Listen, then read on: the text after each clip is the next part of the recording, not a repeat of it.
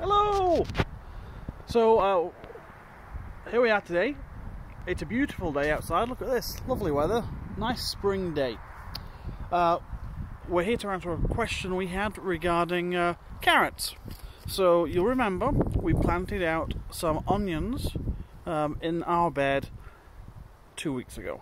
And you can see right here, look at these little onions starting to sprout through, starting to get those in. Okay, so as you know, so I've been busily planting things inside um, for right now. But somebody asked carrots, should they be planting out their carrots in trays like we were doing with the celeriac and the tomatoes? And the answer to that is no, you shouldn't. What you should be doing is taking your uh, carrot seed and you're going to be planting them in your beds, okay? And the very best way, the best thing is to plant them in the onion bed. So this bed here, you'll see we planted half of the bed. This top half has onions and we kept half of it clear for carrots. And the reason for that is because if you plant onions and carrots together, you'll avoid something called carrot fly.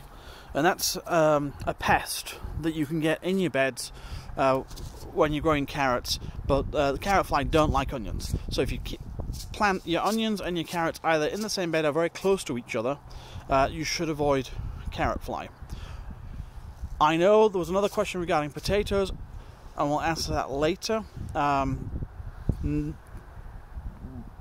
depending where you are in the world, potatoes can go out in bags, but right now here in New England, we want to make sure um, that it's not too cold overnight. Okay, so we're having still having a little bit of frost overnight, freezing temperatures, not good uh, for having uh, stuff outside that's a little tender, like potatoes in bags uh, that are using the bag method. So my potatoes right now are actually growing in there uh, on the back porch. So it's sheltered in, and then we'll bring them out, and actually they're going to go over there, you see, by Mr. Owl. So they'll go on the other side of Mr. Owl.